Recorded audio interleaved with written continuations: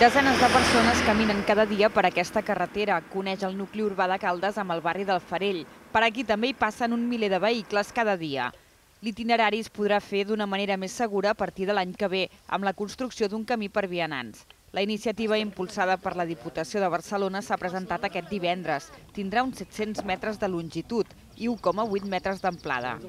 Un nou concepte de mobilitat en què no només pensem exclusivament en els vehicles a motor, que és el que majoritàriament utilitzem a ciutadania, sinó sobretot aquesta nova mobilitat, pensar en les persones, pensar que podem anar a peu, que podem anar a bicicleta, en trajectes com són aquest de 700 metres que comuniquen cap a un càmping, que comuniquen cap a urbanització i que això afavoreix que no sempre haguem d'agafar el vehicle, que sovint puguem anar a peu, puguem anar a bicicleta, el nou camí es construirà al principi de la carretera del Farell i s'unirà amb el que ara ja hi ha al passeig del Remei.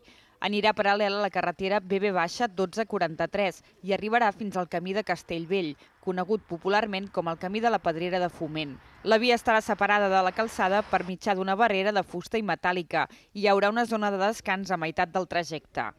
La demanda que, va, que vam fer des de l'Ajuntament a la Diputació és una, una conseqüència natural del que ja ha fet la gent sense l'habilitació d'aquest camí. O sigui, aquest camí el fa servir molta gent, uh, és un camí que la gent fa servir per poder fer salut, caminar, córrer, uh, és un ús pràctic de moltíssima gent del poble, i com podem veure també és un lloc eh, eh, també compartit amb cotxes.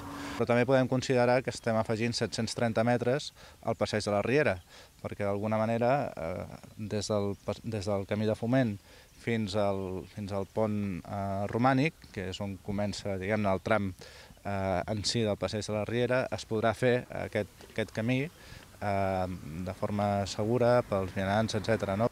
L'obra té un cost de 520.000 euros i un termini d'execució de 4 mesos. La previsió és que les obres, que estaran finançades en un 70% per la Diputació i la resta per l'Ajuntament, s'iniciïn durant el primer trimestre de 2020.